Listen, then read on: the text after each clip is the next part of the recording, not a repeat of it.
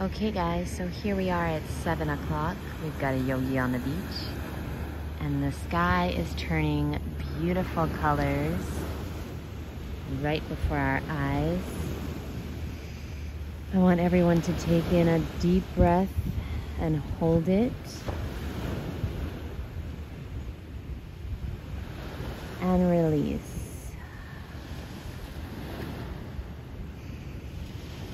I want you to think of three things that you are super, super grateful for right now. Super grateful for.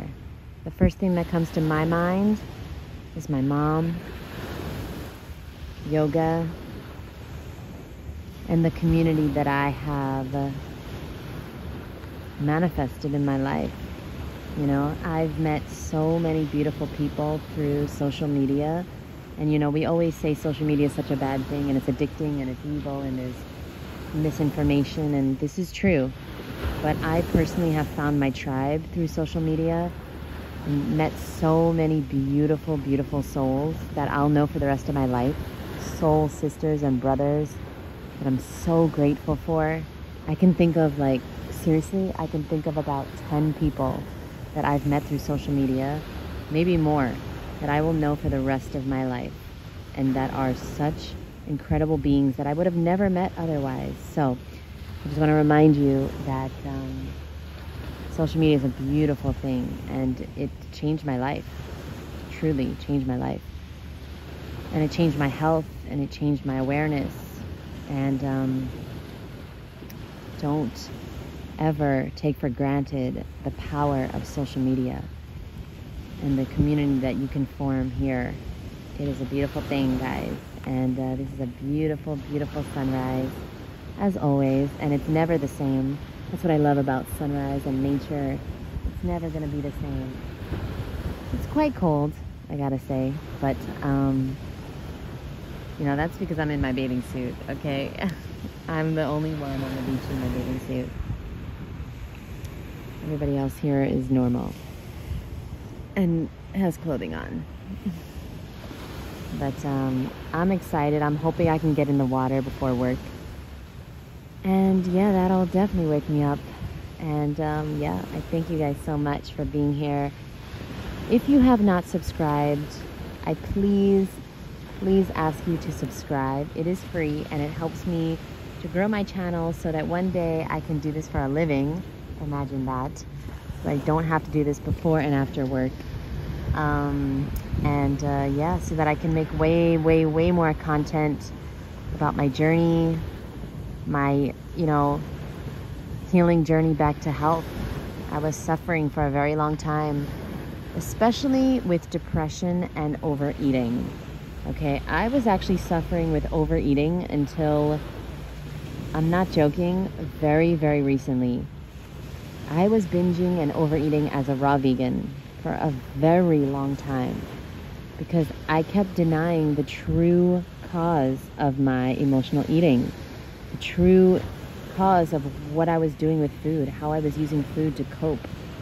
And so I just want you guys to know that it is possible to heal and it's also possible to not heal.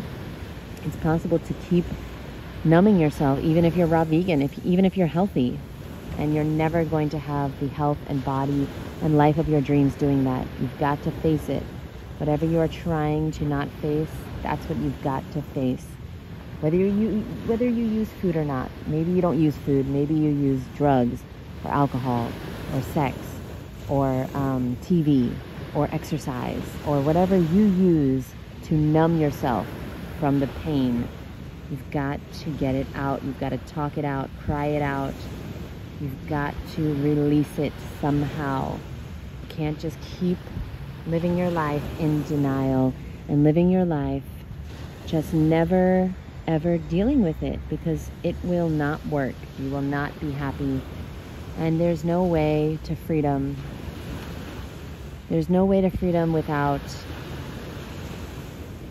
facing it. Whatever you're running away from, face it. And how do you face it? You can write it out, you can talk it out, you can cry it out, like I said, but you have to get it out. If you need someone to talk to, DM me on Instagram. That's the best way to reach me. I can help you. Um, I know Teal Swan can help you. I know my best friend Awa can help you.